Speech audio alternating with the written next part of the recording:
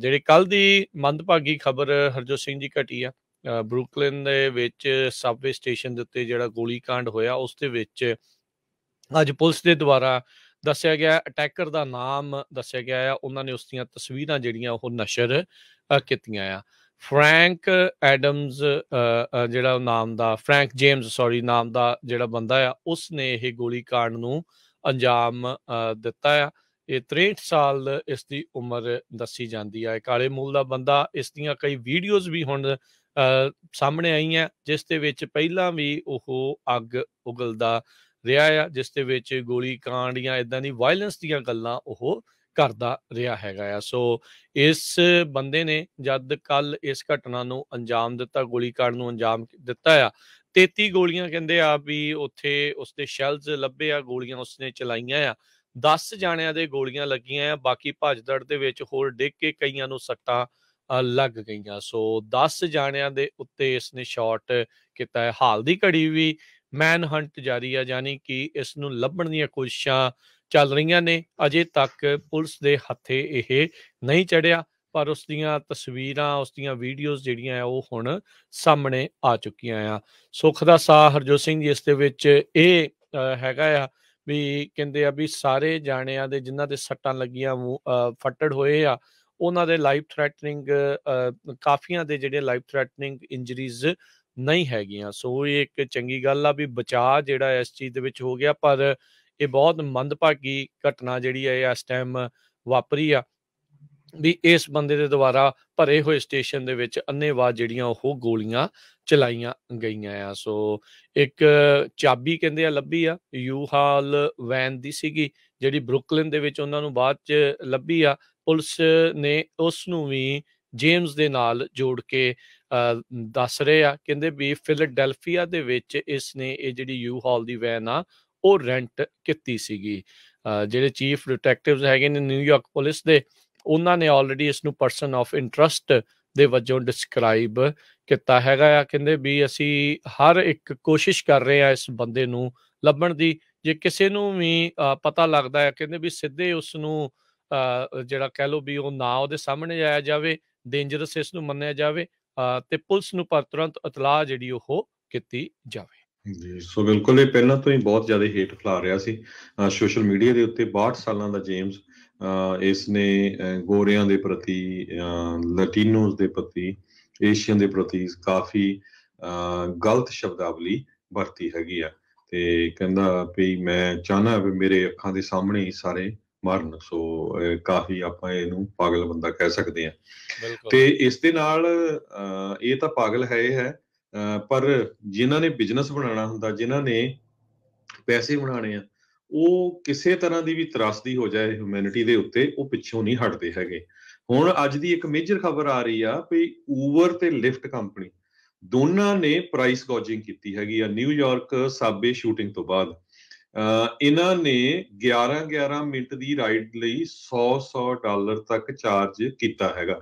ਸੋ ਜਿਹਦੇ ਨਾਲ ਉੱਥੇ ਲੋਕਾਂ ਦੇ ਵਿੱਚ ਹਾਹਾਕਾਰ ਮਚੀ। ਲੋਕਾਂ ਨੇ ਟਵਿੱਟਰ ਦੇ ਉੱਤੇ ਇੰਸਟਾਗ੍ਰam ਤੇ ਆਪਣੇ ਬਿੱਲਾਂ ਦੀਆਂ ਜਿਹੜੀਆਂ ਰਸੀਦਾਂ ਉਹ ਪੋਸਟ ਕੀਤੀਆਂ ਵੀ ਦੇਖੋ ਕਿੰਨੀ ਲੁੱਟ ਮਚਾ ਰਹੇ ਆ। ਇੱਕ ਪਾਸੇ ਤਾਂ 23 29 ਦੇ ਕਰੀਬ ਲੋਕ ਫੱਟੜ ਹੋ ਗਏ ਆ, ਦਸਾਂ ਦੇ ਗੋਲੀਆਂ ਦੇ ਸ਼ਰਲੇ ਜਿਹੜੇ ਆ ਉਹ ਲੱਗੇ ਹੈਗੇ ਆ।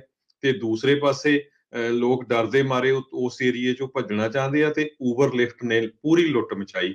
ਉਸ ਤੋਂ ਬਾਅਦ ਉਹਨਾਂ ਨੇ ਮਾਫੀ ਵੀ ਮੰਗੀ ਆ ਕਿ ਨਹੀਂ ਜੀ, ਅਸੀਂ ਬਾਅਦ ਦੇ ਵਿੱਚ ਜਦੋਂ ਸਾਨੂੰ ਕੰਪਲੇਨਸ ਆਈਆਂ ਸੀ ਉਹਨਾਂ ਨੂੰ ਜਿਹੜੀ ਆ ਫਿਕਸ ਕਰ ਦਿੱਤਾ। ਹੁਣ ਇਥੇ ਸਰੋਤਿਆਂ ਨੂੰ ਰਿਮਾਈਂਡ ਕਰਦੇ ਜਾਈਏ 9/11 ਦੇ ਵਿੱਚ ਨਿਊਯਾਰਕ ਦੇ ਵਿੱਚ ਜਦੋਂ ਹਮਲਾ ਹੋਇਆ ਸੀ 3000 ਤੋਂ ਵੱਧ ਲੋਕਾਂ ਦੀਆਂ ਮੌਤ ਹੋ ਹੋ ਗਈਆਂ ਸੀਗੀਆਂ ਮੌਤਾਂ।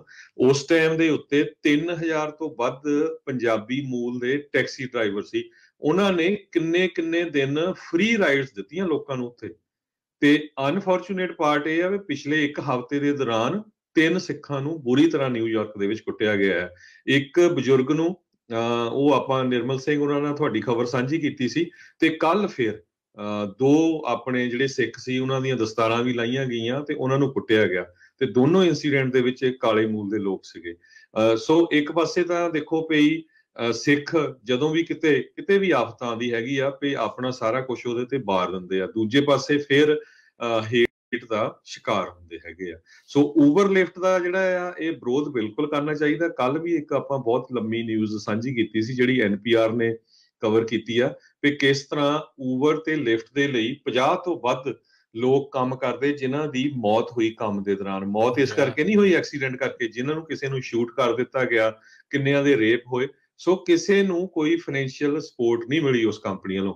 ਹਾਲਾਂਕਿ ਜਦੋਂ ਤੁਸੀਂ ਜਿਸ ਕੰਪਨੀ ਦੇ ਵਿੱਚ ਕੰਮ ਕਰਦੇ ਹੋਵੋ ਉਸ ਕੰਪਨੀ ਦੀ ਵਰਕਰਸ ਕਾਮ ਇੰਸ਼ੋਰੈਂਸ ਹੁੰਦੀ ਆ, ਉਹ ਤੁਹਾਨੂੰ ਫਾਈਨੈਂਸ਼ੀਅਲੀ ਸਪੋਰਟ ਕਰਦੇ ਹੈਗੇ ਆ। ਸੋ ਉਸ ਕਰਕੇ ਵੀ ਊਬਰ ਲਿਫਟ ਦਾ ਬਹੁਤ ਵਿਰੋਧ ਹੋਇਆ ਸੀ। ਸੋ ਅੱਜ ਇਹ ਬਹੁਤ ਬੁਰੀ ਖਬਰ ਆ ਰਹੀ ਆ ਕਿ ਦੇਖੋ ਊਬਰ ਲਿਫਟ ਨੇ 11 ਮਿੰਟ ਦੀ ਰਾਈਡ ਲਈ। 100-100 ਡਾਲਰ ਤੱਕ ਨਿਊਯਾਰਕ 'ਚ ਚਾਰਜ ਕੀਤਾ। ਜੀ, ਬਿਲਕੁਲ। ਸੋ, ਇਹ ਲੋਕਾਂ 'ਚ ਭਜਦੜ ਮਚੀ ਸੀ। ਲੋਕੀ ਸੁਰੱਖਿਅਤ ਥਾਵਾਂ ਦੇ ਉੱਤੇ ਜਾਣਾ ਚਾਹੁੰਦੇ ਸੀ। ਲੋਕੀ, ਸਭ ਨੂੰ ਪਤਾ ਹੈ ਵੀ ਜਦੋਂ ਭੀੜ ਭੜਾਕੇ ਵਾਲਾ ਜਿਹੜਾ ਸ਼ਹਿਰ ਹੁੰਦਾ ਆ, ਉੱਥੇ ਲੋਕ ਆਪਣੀਆਂ ਗੱਡੀਆਂ ਘੱਟ ਸਬਵੇ ਤੇ ਜਾਂਦੇ ਹੁਣ। ਸਬਵੇ ਉੱਤੇ ਤਾਂ ਗੋਲੀ ਚੱਲ ਗਈ, ਸਬਵੇ ਤਾਂ ਸ਼ਟਡਾਊਨ ਹੋ ਗਈ। ਲੋਕਾਂ ਨੇ ਫਿਰ ਸੜਕ ਦੇ ਸਹਾਰੇ ਹੀ ਇੱਧਰ ਉੱਧਰ ਜਿਹੜਾ ਉਹ ਜਾਣਾ ਸੀਗਾ। ਪਰ ਇਹਨਾਂ ਦੋਨਾਂ ਕੰਪਨੀਆਂ ਨੇ ਇਸ ਤਰਾਸਦੀ ਦੇ ਵਿੱਚ ਮੁਨਾਫਾ ਖੱਟਣ ਦੀ ਜਿਹੜੀ ਪੂਰੀ ਕੋਸ਼ਿਸ਼ ਸਰਜ ਪ੍ਰਾਈਸਿਸ ਜਿਹੜੀ ਆ ਉਹ ਚਲਾ ਦਿੱਤੀ ਜਾਂਦੀ ਆ।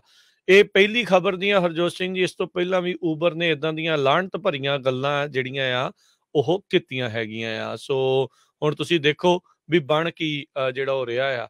ਆਪਾਂ ਯਾਦ ਆ ਹਰਜੋਤ ਸਿੰਘ ਜੀ ਜਿਹੜੇ ਪ੍ਰੋਪੋਜੀਸ਼ਨ ਦੀ ਕੱਲ ਵੀ ਗੱਲ ਕਰ ਰਹੇ ਸੀਗੇ ਵੀ ਜਦੋਂ ਕਹਿੰਦੇ ਸੀ ਵੀ EMPLOYEE ਬਣਾ ਲਓ ਇਹਨਾਂ ਨੂੰ ਲੋਕੀ ਜਿਹੜੇ ਕੰਮ ਕਰਦੇ ਸੀ ਉਹ ਕਰਦੇ ਸੀਗੇ ਪਰ ਦੂਜੇ ਲੋਕਾਂ ਨੂੰ ਸਾਰੀ ਦੁਨੀਆ ਨੂੰ ਭਰਮਾ ਲਿਆ ਉਹਨਾਂ ਨੇ ਵੀ ਨਹੀਂ ਜੀ, ਇਹਨਾਂ ਨੂੰ EMPLOYEE ਬਣਾ ਕੇ ਕੋਈ ਫਾਇਦਾ ਨਹੀਂ ਆ ਪ੍ਰਾਈਸਾਂ ਜਿਹੜੀਆਂ ਜੀ ਉਹ ਚੱਕ ਹੋ ਜਾਣਗੀਆਂ ਇਦਾਂ ਹੋ ਜਾਣਾ ਉਦਾਂ ਹੋ ਜਾਣਾ ਤੇ ਹੁਣ ਦੇਖ ਲਓ ਕੀ ਹੁੰਦੇ ਆ। ਉਥੇ 50 ਲੋਕ ਮਰ ਗਏ, ਕੋਈ ਉਹਨਾਂ ਨੂੰ ਕੰਪਨਸੇਸ਼ਨ ਨਹੀਂ, ਕੋਈ ਕੁਛ ਨਹੀਂ। ਕਈਆਂ ਦੇ ਨਾਲ ਬਲਾਤਕਾਰ, ਬਦਸਲੂਕੀਆਂ, ਕਈ ਕੁਛ, ਕਈ ਤਰੀਕੇ ਦਾ ਚੀਜ਼ਾਂ ਦਾ ਸਾਹਮਣਾ ਕਰਨਾ ਪੈ ਰਿਹਾ ਆ। ਉਹ ਉਹ ਵੱਖਰੀ ਗੱਲ ਤੇ ਇੱਧਰ ਜਿਹੜੇ ਮਰਦੇ ਲੋਕ ਆਪਣੇ ਆਪ ਨੂੰ ਬਚਾਉਣ ਦੀ ਕੋਸ਼ਿਸ਼ ਕਰ ਰਹੇ ਆ ਉਸ ਦੇ ਵਿੱਚ ਵੀ ਕਹਿੰਦੇ ਆ ਵੀ ਡਾਲਰ ਕੁੱਟ ਲਓ ਜਿੰਨੇ ਕੁੱਟ ਹੁੰਦੇ ਆ। ਸੋ ਇਹ ਬਹੁਤ ਮੰਦਭਾਗੀ ਗੱਲ ਆ। ਅਕਲ ਨੂੰ ਹੱਥ ਇਹਨਾਂ ਕੰਪਨੀਆਂ ਨੂੰ ਜਿਹੜਾ ਉਹ ਮਾਰਨਾ ਚਾਹੀਦਾ ਆ।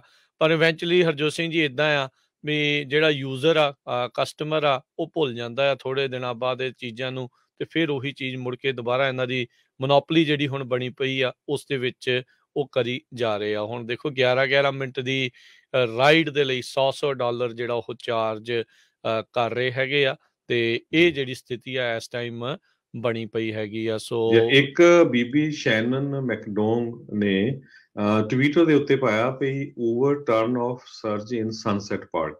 People are scared let them get out safely so ਪਈ ਲੋਕ ਸਕੇਅਰਡ ਹੋਏ ਆ ਉੱਥੇ ਬੰਬ ਚੱਲ ਕੇ ਹਟਿਆ ਸੀ ਸਮੋਕ ਦਾ ਤੇ ਕਿੰਨੇ ਫੱਟੜ ਹੋਏ ਆ ਲੋਕ ਉੱਥੋਂ ਸੇਫਲੀ ਭੱਜਣਾ ਚਾਹੁੰਦੇ ਆ, ਬਾਹਰ ਜਾਣਾ ਚਾਹੁੰਦੇ ਆ ਤੇ ਤੁਸੀਂ ਪੂਰੀ ਲੁੱਟ ਮਚਾਈਓ ਆ ਸੋ ਉਸ ਬੀਬੀ ਨੇ ਉੱਥੋਂ ਜਦੋਂ ਰਾਈਡ ਲਈ 11:21 ਮਿੰਟ ਤੇ ਊਬਰ ਐਕਸ ਤੋਂ 4 ਮਿੰਟ ਦੂਰੀ ਤੱਕ ਉਹਨੂੰ 68 ਡਾਲਰ ਤੇ 49 ਸੈਂਟ ਚਾਰਜ ਕੀਤੇ ਗਏ। ਜੀ ਜੀ, ਬਿਲਕੁਲ, ਸੋ ਤੁਸੀਂ ਦੇਖ ਲਓ ਕੀ ਜਿਹੜਾ ਸਥਿਤੀ ਜਿਹੜੀ ਬਣੀ ਹੈ। ਕਈ ਲੋਕ ਤਾਂ ਇਹ ਕਹਿੰਦੇ ਆ ਵੀ ਇਹ ਤਾਂ ਚਲੋ ਕੈਲੀਫੋਰਨੀਆ ਚ ਵੀ 5 ਆਇਆ, ਬਾਕੀ ਸਾਰੇ ਥਾਵਾਂ ਤੇ ਨਹੀਂ, ਇਹ ਤਾਂ ਨਿਊਯਾਰਕ ਦੇ ਵਿੱਚ ਜਿਹੜਾ ਉਹ ਦੇਖਿਆ ਜਾ ਰਿਹਾ ਹੈਗਾ ਵੀ ਉੱਥੇ ਇਹ ਸਥਿਤੀ ਜਿਹੜੀ ਬਣੀ ਪਈ ਹੈਗੀ ਆ। ਸੋ ਅਕਲ ਨੂੰ ਇਹਨਾਂ ਨੂੰ ਹਰਜੋਤ ਸਿੰਘ ਜੀ ਹੱਥ ਮਾਰਨਾ ਜਿਹੜਾ ਉਹ ਚਾਹੀਦਾ ਆ। ਲੋਕਾਂ ਨੇ ਸ਼ਿਕਾਇਤ ਕੀਤੀ, ਫਿਰ ਇਹ ਨਹੀਂ ਵੀ ਇਹਨਾਂ ਨੇ ਆਪਣੇ ਪੱਧਰ ਦੇ ਉੱਤੇ ਵੀ ਇਹ ਕਰਨ ਵੀ ਕਿਸ ਤਰੀਕੇ ਦੇ ਨਾਲ ਵੀ ਇਹਨਾਂ ਨੂੰ ਪਹਿਲਾਂ ਹੀ ਦੇਖ ਲੈਣਾ ਚਾਹੀਦਾ ਵੀ ਕੋਈ ਆਫਤ ਆਵੇ, ਤਾਂ ਸਗੋਂ ਲੋਕਾਂ ਨੂੰ ਡਿਸਕਾਊਂਟਡ ਪ੍ਰਾਈਸ ਚਾਹੀਦੇ ਆ, ਨਾ ਕਿ ਉਹਨਾਂ ਨੂੰ ਸਰਜ ਪ੍ਰਾਈਸਸ ਜਿਹੜੇ ਚਾਹੀਦੇ ਆ। ਲਿਫਟ ਦਾ ਇਹਨਾਂ ਦਾ ਇੱਕ ਆਪਣਾ ਸਿਸਟਮ ਜਿਹੜਾ ਹੈਗਾ ਪ੍ਰਾਈਮ ਟਾਈਮ ਕਰਕੇ ਉਹ ਕਰਦੇ ਆ। ਜਦੋਂ ਕਹਿੰਦੇ ਆ ਵੀ ਰਾਈਡ ਲੈਣ ਵਾਲੇ ਵੱਧ ਜਾਂਦੇ ਆ ਕਾਰਸ ਅਵੇਲੇਬਲ ਦੇ ਨਾਲੋਂ ਤਾਂ ਫਿਰ ਉਹ ਪ੍ਰਾਈਸ ਜਿਹੜਾ ਉਹ ਚੱਕ ਦਿੰਦੇ ਆ। ਇਹੋ ਜਿਹੇ ਮੌਕੇ ਦੇ ਉੱਤੇ ਸਾਰਿਆਂ ਨੂੰ ਭੱਜਦੜ ਜਿਹੜੀ ਉਹ ਮਚੀ ਹੁੰਦੀ ਆ ਦੌੜ ਰਹੇ ਹੁੰਦੇ ਆ ਉਹ ਕੋਈ ਉਬਰ ਵੀ ਕਰਦਾ ਹੈ ਲਿਫਟ ਵੀ ਕਰਦਾ ਹੈ ਤੇ ਆਟੋਮੈਟਿਕਲੀ ਰਾਈਡਰਸ਼ਿਪ ਵਧਣੀ ਆ ਨੰਬਰ ਆਫ ਕਾਰਸ ਦੇ ਨਾਲੋਂ ਤਾਂ ਉਹ ਫਿਰ ਜਿਹੜੀ ਸਰਜ ਪ੍ਰਾਈਸਿੰਗ ਜਿਹੜੀ ਆ ਉਹ ਕਰ ਦਿੱਤੇ ਆ। ਸੋ ਉਬਰ ਨੂੰ ਕਹਿੰਦੇ ਮੈਨੂਅਲੀ ਬਾਅਦ ਦੇ ਵਿੱਚ ਸਰਜ ਪ੍ਰਾਈਸਿੰਗ ਡਿਸੇਬਲ ਜਿਹੜੀ ਉਹ ਕੀਤੀ ਗਈ ਸ਼ੂਟਿੰਗ ਦੇ ird-gird ਦੇ ਜਿਹੜੇ ਉਹ ਇਲਾਕਿਆਂ ਦੇ ਵਿੱਚ ਜਿਹੜਾ ਜਿਹੜਾ ਕਹਿੰਦੇ ਵੀ ਆਟੋਮੈਟਿਕਲੀ ਪਹਿਲਾਂ ਔਨ ਹੋ ਗਈ ਸੀਗੀ। ਸੋ ਇਹ ਇੱਕ ਮਾੜੀ ਪ੍ਰੈਕਟਿਸ ਹੈਗੀ ਇਹਨਾਂ ਦੀ ਬਿਜ਼ਨਸ ਦੇ ਵਜੋਂ। ਹੋ ਸਕਦਾ ਵੀ ਕਈ ਲੋਕ ਪੱਕੇ ਤੌਰ ਦੇ ਉੱਤੇ ਇਸ ਨੂੰ ਛੱਡ ਵੀ। ਜਾਣ ਵੀ ਅਸੀਂ ਬਿਲਕੁਲ ਇਹਨਾਂ ਵਿੱਚ ਜਿਹੜੇ ਪ੍ਰਾਈਸ ਗੋਜਿੰਗ ਦੇ ਅੰਡਰ ਜਿਹੜੀ ਹੈ ਇਹਨਾਂ ਨੂੰ ਫਾਈਨ ਵੀ ਹੋਣਾ ਚਾਹੀਦਾ ਹੈ ਅਥਾਰਟੀਜ਼ ਵੱਲੋਂ ਤੇ